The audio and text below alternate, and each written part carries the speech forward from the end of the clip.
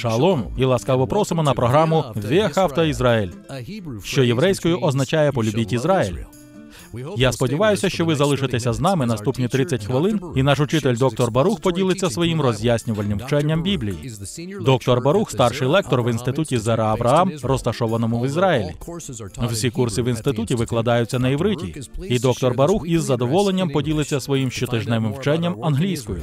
Щоб більше довідатися про нашу роботу в Ізраїлі, будь ласка, відвідайте наш сайт loveisrael.org. А зараз доктор Барух із сьогоднішнім уроком.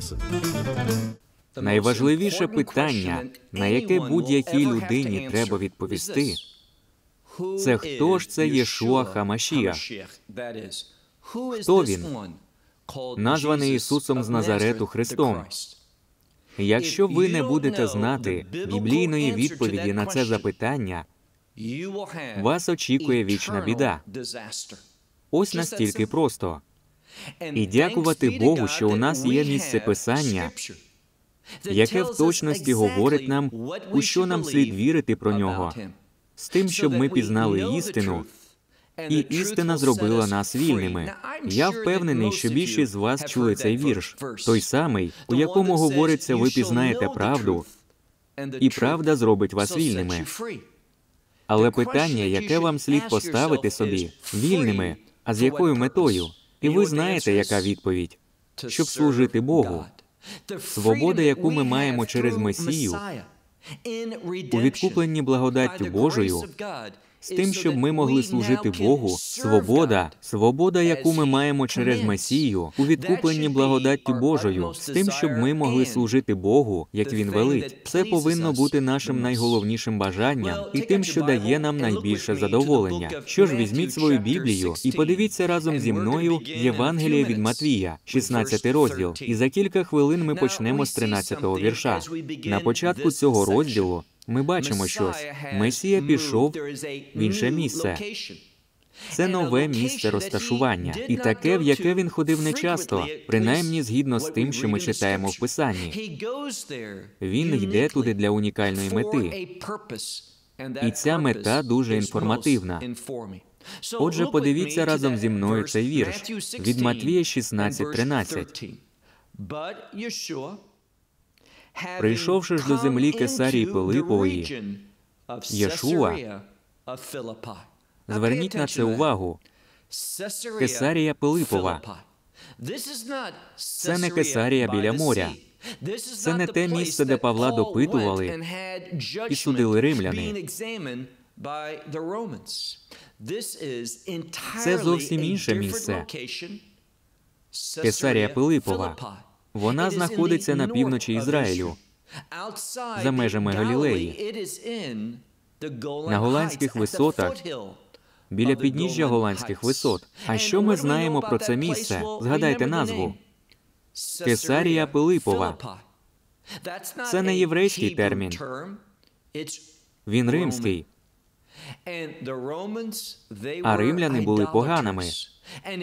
Це було місце ідолопоклонства. Наприклад, ви можете поїхати, відвідавши Ізраїль, ви можете поїхати в Кесарію Пилипову і побачити місця, які були викарбувані понад дві тисячі років тому, і висічені для того, щоб люди приходили, поміщали там різних ідолів, кланялися їм і приносили їм жертви. Дехто каже, що там відбувались навіть людські жертвоприношення. Це було місце, де люди поклонялись. І ось важливий момент багатьом різним богам. Пам'ятайте це. Коли ми вивчаємо це місце писання. Євангеліє від Матвія 16.13. Прийшовши ж до землі Кесарії Пилипової, Ісус запитував своїх учнів, кажучи, Він ставив їм питання. Якщо ми подивимося на це питання буквально, як написано біблійною мовою, то це щось незрозуміле. Його майже неможливо перекласти буквально. Тому що він говорить про себе, і ми б сказали я, але він буквально використовує слово мене. І ось що він говорить тут.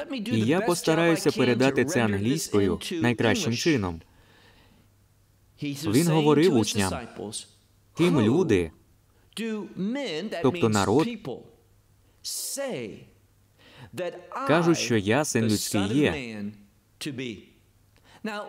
Він хоче знати, у що люди вірять про нього, Сина людського. І, як завжди, його улюблений термін для опису себе – це син людський. Чому? Син людський це ідіома, що означає слугу, того, хто прийшов виконати не свої особисті бажання, а бажання того, хто його послав. Тому він ставить питання своїм учням. Ким люди кажуть, що я син людський є? Хто я на їхню думку? І зауважте плутанину. Багато в чому нічого не змінилося. Люди і сьогодні, як і раніше, плутаються. Ми по роботі подорожуємо різними країнами. Я маю на увазі себе і дружину. Ми дивуємося, тому як багато людей, які коли ти питаєш, ви коли-небудь чули про Ісуса з Назарета, названого Христом? У багатьох місцях Африки та Азії люди не чули це ім'я ні на своїй, ні на будь-якій ще мові. Вони нічого не знають про євангельські події. Усе це для них нове. А багато людей навіть на Заході Насправді не знають, ким є Єшуа.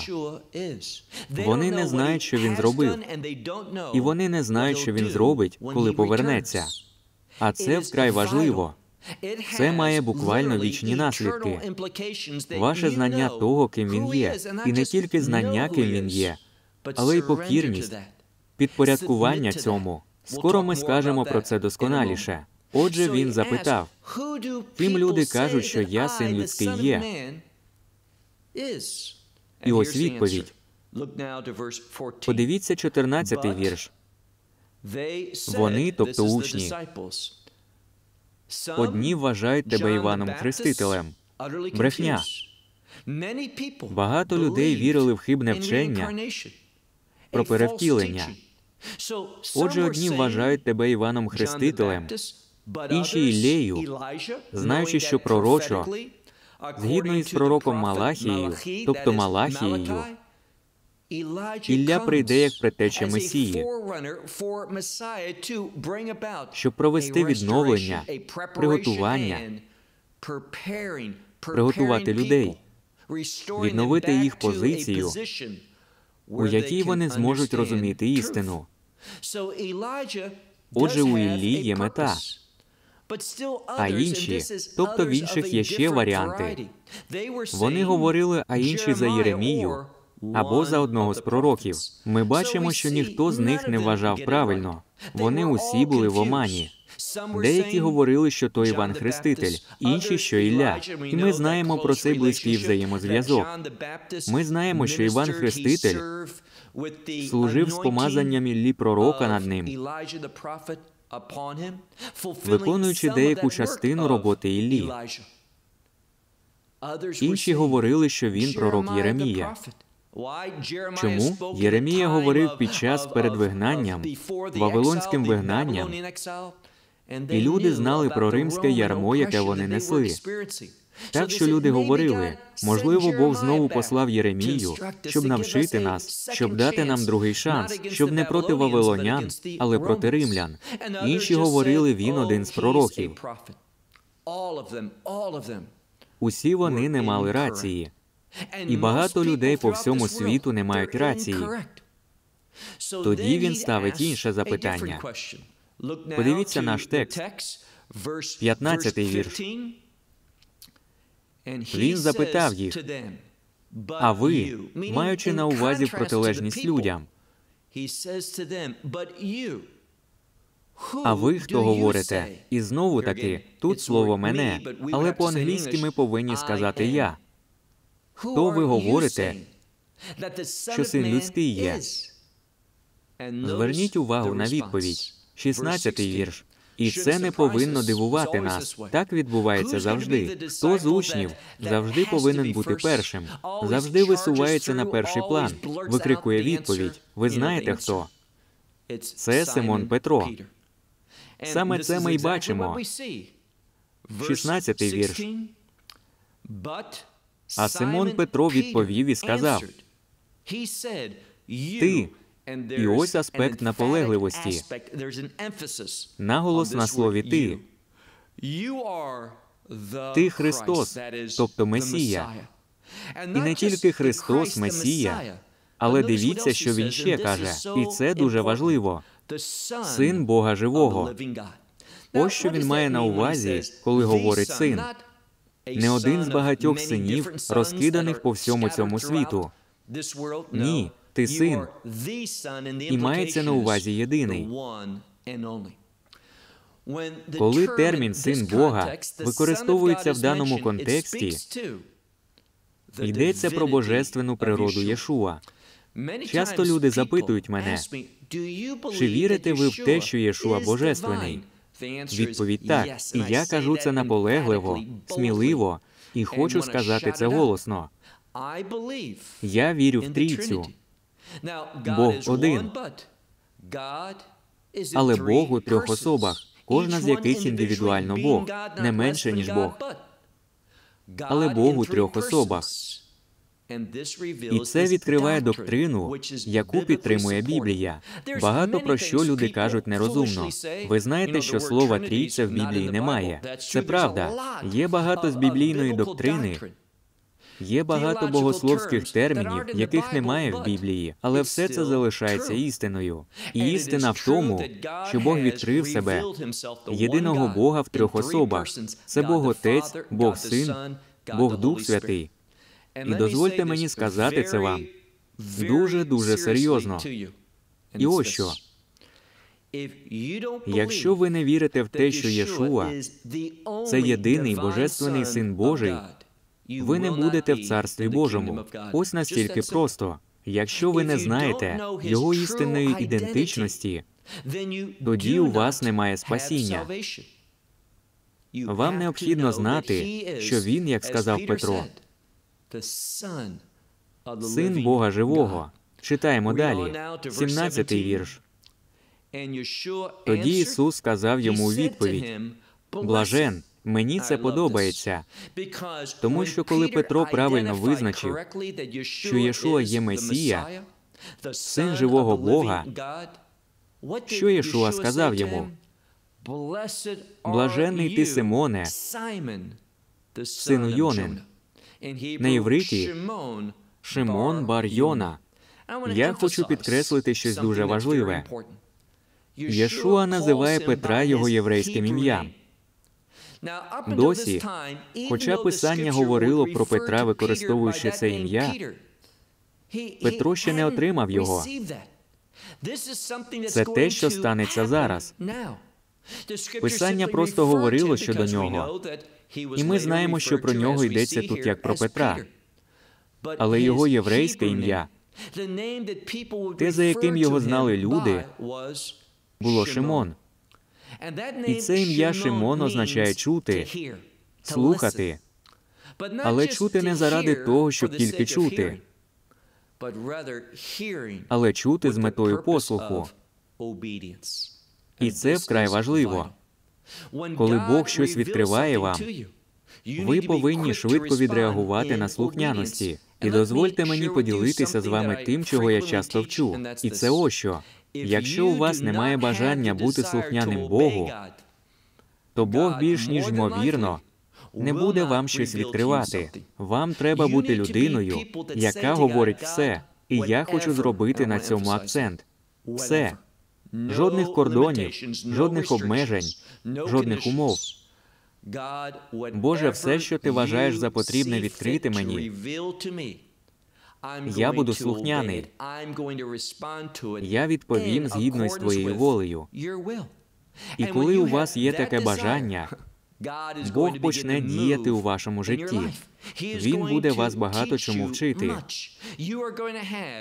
У вас буде інший погляд на писання. Отже, знову дивимося текст. Він, тобто Єшуа, каже йому: Блаженний ти Шимон Бар-Йона, Симоне син Йонин, бо не тіло і кров тобі оце виявили, але мій Отець, що на небесах. Що це означає тут? Перш за все, ми бачимо принцип. Зауважте, щойно Петро сказав, Єшуа, ти Месія, син живого Бога. Наступне, що Єшуа сказав йому, було ти блаженний. Може, у вас доволі добре життя. Може, у вас є їжа, одяг, гарний будинок, хороший автомобіль, багато грошей в банку. Може, у вашому житті є фінансова стабільність. Може, у вас гарне здоров'я. І слава Богу за все це. Але ви не пізнаєте небесне благословіння, істинне небесне блаженство. І це слово блажений також відноситься до щастя. Ви не будете мати радості, небесної радості, поки не визнаєте своїми устами і не повірите у своєму серці, що Єшуа, Ісус Христос, що Він син Божий, і той, кого Отець послав у цей світ, щоб відкупити вас і всіх людей від їхніх гріхів. Ось так просто. Отже, Месія каже в цьому місці Писання. Блажений, щасливий ти, Симоне, син Йонин, бо не тіло і кров, це означає наступне: не буває так, що ви за тілом, через кров і плоть, через природне, просто натрапили на істину. Істина повинна бути відкрита вам. І місце номер один для Божого об'явлення просто тут, у цій книзі. Це відкриття Бога. Ви не знайдете його, вивчаючи якусь іншу книгу. І я не знаю, чому сьогодні так часто люди хочуть ділитися чимось і звертаються до іншого джерела. Ось джерело духовної істини. Ось єдине джерело духовної істини. Хтось може написати щось духовно істинне, але воно буде у згоді з Біблією. Вони кажуть, що вони не говорили на підставі цієї книги. Це єдине джерело духовної істини. І на цьому ми повинні засновувати своє життя. Ми скоро підійдемо до цього принципу. Отже, Єшуа говорить: не тіло і кров відкрили тобі це, а отець мій, що на небі. Люди приходять до віри через дію Бога. Ось чому він отримує всю славу. Але не вірте помилковому вченню про те, що якщо Бог відкриває вам істину, ви обов'язково приймете її. Люди навчають про непереборну благодать, але ніде в писанні ми такого не бачимо. Ніде. Люди зустрічалися з благодаттю Бога, і, на жаль, весь час повставали проти неї. Є ті, хто кажуть, вони так роблять, поки Бог не скаже досить, але такого немає у писанні. Бог і термін тут всякий. Він відкриває своє відкриття кожному. Неважливо, хто це єврей чи поганин, чоловік або жінка. Неважливо, який у вас колір шкіри, якою мовою ви розмовляєте, яке у вас громадянство. Якщо ви почули Євангеліє, то всякий, хто відповість, сказавши Богу так. А що це означає? Визнати свою гріховність і визнати, що Єшуа відкупитель ваших гріхів. Він, як сказав Петро, син живого Бога. Він помазаний, щоб принести порятунок у цей світ. Отже, Єшуа каже: не тіло і кров тобі оце виявили, але мій отець, що на небесах. Також я говорю, і слово сполучення починається словом але контраст. Але я кажу тобі, ти Петро, зауважте, що відбувається зміна імені. Контраст новий. Він взаємопов'язаний. Але Єшуа бере новий напрямок. Він каже, але ти Петро. Ми дізналися, що його ім'я Шимон Бар-Йона. Єшуа змінює його ім'я, давши нове. Тому що через це визнання, через це розуміння, що Єшуа є єдиним сином Божим, сином живого Бога, через це ми стаємо новим творінням. А тому нове ім'я, новий характер. І що це було за ім'я? Приділіть пильну увагу. Єшуа каже: Ти Петро, і на цьому камені гра слів, тому що це ім'я Петро означає камінь на грецькій мові. Про який камінь він каже? Він каже про істину, істину про ідентичність Месії. І ось ключовий момент. Якщо ви хочете бачити славне життя, життя угодне Богові, життя, яке здійснює діла Божі, вам необхідно мати правильну підставу. І ця підстава починається, вона базується на істині про ідентичність Єшуа. Поки ви не зрозумієте, не приймете І не підкоритесь тому факту, що Єшуа є Спаситель, син живого Бога, ви не зможете нічого бачити. Але якщо ваше життя побудоване на цьому, зауважте, що він каже. Він на цьому побудує щось славне. Він говорить: Ти Петро, і на цьому камені я збудую мою. Зверніть увагу на наступне слово мою церкву. Багато людей вважають, що це нове слово, яке ніколи не з'являлося раніше. І що тут вперше міститься відкриття про цю концепцію церкви. Це не так. Ми вивчаємо новий заповіт. Новий заповіт був написаний грецькою мовою. І грецька мова використовувалася для перекладу з івриту Тори, перших п'яти книг у всій єврейській Біблії, у всьому старому заповіті. І коли мова йде про зібрання, що вийшло з Єгипту, відкуплене кров'ю Агнця, я кажу про досвід Пасхи.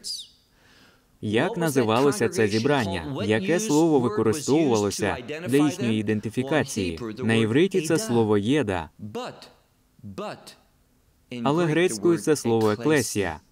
Так що вони знали це слово. Вони говорили грецькою і знали, що Єшуа говорив про зібрання в пустелі, які всі мали досвід Пасхи. Істина в тому, що кров пасхального ягняти, і що говорить Павло? Що Єшуа є Пасха наша. Він помер в день приготування. Усі чотири Євангелія свідчать про це. А дні приготування це інша назва Пасхи. Тому, коли ви приймаєте ідентичність Месії для свого відкуплення, Бог приступає до роботи. І тут сказано, що він збудує збори. Тут використано слово англійською. Ми перекладаємо його як церква. І зауважте наступне перемога. Коли ви в якості основи свого життя використовуєте істину про те, ким є Месія, що він зробив, що він зробить, і ви запрошуєте його бути Господом свого життя, зауважте, що тут сказано. Ворота пекла не, і це слово означає здолати. Це слово означає перемогти, скинути. Ворота пекла не зможуть скинути збори відкуплених. Цей камінь Месії, цю істину про людей, які увійшли з ним у стосунки завіту. Подивіться 19-й вірш. У ньому йдеться. І дам тобі ключі Царства Небесного. Ключі Царства Небесного. А як людина входить у Царство Небесне? Дуже просто через євангельське послання. Це пов'язує разом його ідентичність, те, ким є Месія, син живого Бога. Він Христос, помазаник, Він Спаситель, відкупитель. Це ключі Царства Небесного. Ось так входять в нього. І далі він каже йому просто і все, що він говорить про кожного з учнів. І все, що на землі ти зв'яжеш, те буде. Я перекладаю буквально. Але ось проблема. Багато людей розуміють це так, і я робив ту ж помилку. Вважаючи, що якщо ми будемо діяти у слухняності Богу, він буде погоджуватися. Бог буде ставити на це свою печать схвалення. Може, це й так, але не в цьому намір даного місця писання. Коли ви дивитесь це місце писання, вам треба поставити собі питання. Є унікальна граматична конструкція, для двох слів у цьому вірші. Тут досконалий час. Чому? Щоб була богословська дискусія, вам треба розуміти, що являє доконаний час. Я перекладу це місце буквально. Єшуа каже, «Дам тобі ключі Царства Небесного. і що зв'яжеш на землі, так і буде. Будучи зв'язане на небі. Бачите це? Будучи зв'язане. Будучи зв'язане, означає доконаний час. Це щось, що сталося в минулому, істинно зараз і продовжить бути істиною. Це означає, що Бог щось зробив, і ми з цим погоджуємося. Подібним чином сказано, друга частина 19-го вірша. І що розв'яжеш на землі, так і буде. Будучи розв'язана на небі. Тобто усі ми працюємо, щоб виконати, і ось ключовий момент виконати цілі Бога. Усе те, що вирішили небеса. Не так, що Бог погоджується з нашим рішенням. Це ми погоджуємося з його рішенням. І коли це відбувається, так буде зроблено на землі. Так що це чудове підтвердження сили Бога і Його слова. Ми не повинні думати, що якщо ми щось вирішимо, проголосимо, то після того, як ми зробили це, Бог погодиться стверджувати таке єресь. Це надзвичайно неправильно. Це хибне вчення. Що ж, ще один вірш, і ми закінчимо. 20-й вірш. Тоді він проінструктував, Наказав своїм учням і сказав, щоб вони нікому нічого не говорили про те, що Єшуа є Месією. Це здається дивним, чи не так? Що він звелів, проінструктував їх, щоб вони нікому нічого не говорили, тому що він, Єшуа, Месія. Чому? Хіба не в цьому мета? Нам треба повернутися до того, з чого почалося це місце. Ви пам'ятаєте, він сказав, хто люди кажуть син людський? Син людський це термін, що стосується Христа, Месії. Хто люди кажуть є Месія? Люди не зрозуміли це правильно. Вони не мали рації. Тому Месія каже: не кажіть їм нічого. Чому? Тому що коли ми подивимося писання далі. Єшуа буде наставляти, він буде вчити, він буде показувати їм, що справді зробить Месія, яке його покликання.